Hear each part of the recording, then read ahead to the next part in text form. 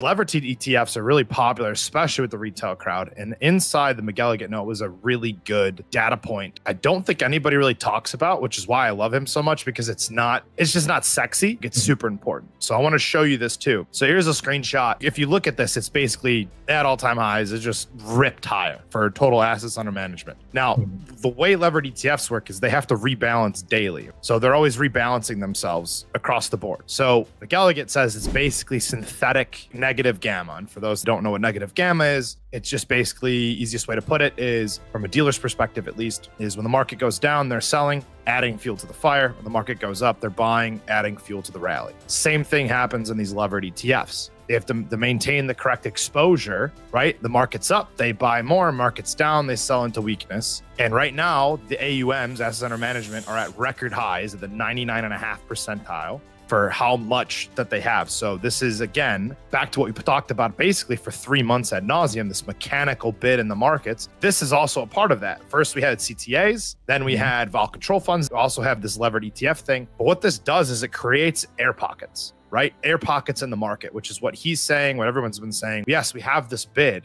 but once the bid gives up, this synthetic negative gamma, you have the short gamma on the downside that I think dealers are now positioned with as well, where the unwind could just be violent, right? I think people are still chasing it from what we've seen so far, obviously. But at some point, with all of this going in, this air pocket, it should rip us fast down to the downside in some capacity, is what everyone's suggesting.